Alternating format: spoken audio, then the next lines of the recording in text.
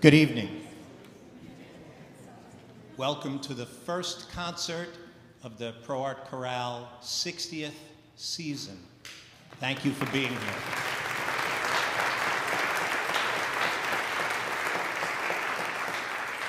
I'm Joe DeFazio. I'm the president of the Board of Trustees, and I'm also a singer in the group. Um, all the information you need is in the program. Please patronize our advertisers. They help make these kinds of performances happen through their generosity with their ads, and we love having you all here. It's a wonderful house tonight. We'd like to dedicate this concert season to a member of the group and a member of my board of trustees who passed away last month, Hugh Dugan. Hugh was an integral part of the Board of Trustees and was my vice president for finance and was also our grant writer, and he helped obtain a number of grants for the Pro Arte Chorale through the years. And he was also a singer, a wonderful bass singer in the group.